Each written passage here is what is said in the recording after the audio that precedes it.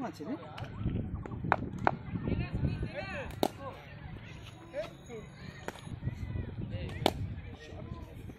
Wait, wait.